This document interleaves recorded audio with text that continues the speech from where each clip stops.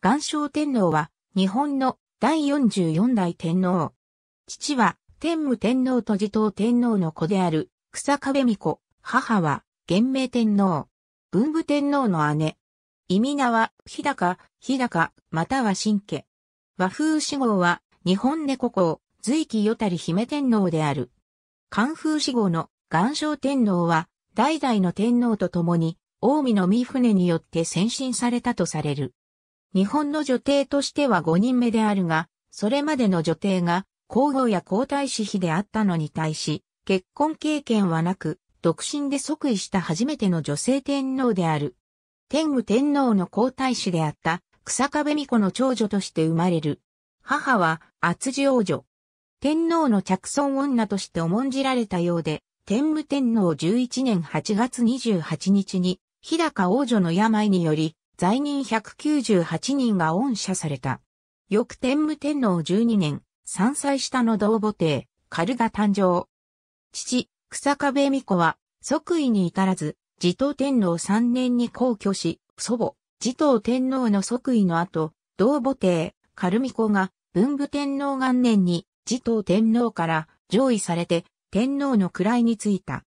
当時、日高王女は18歳であり、天皇の同母姉という立場が、非婚に影響したものと思われる。慶運4年に文武天皇が崩御し、その維持である首美子がまだ幼かったため、母の厚地王女が即位、元明天皇となった。和道3年、平城慶2戦と、和道7年1月20日、二品日高内新郎に直付戦子が与えられる。和道8年、霊気元年1月10日に一品に少女。霊気元年9月2日、皇太子である老いの首美子が、まだ若いため、母、元明天皇から上位を受け即位。俗に本記にある、元明天皇上位の際の御事のりには、天の立てせる、肝心、鎮静遠蓮にして、花夏のせたたずまいりとあり、慈悲深く落ち着いた人柄であり、あでやかで美しいと記されている。歴代天皇の中で唯一、母から娘への皇位継承が行われた。元正天皇の父は草壁美子であるから男系承継だという説がある一方で、皇位継承時にはすでに草壁美子は逝去していたのだから男系承継とは言えないという説もある。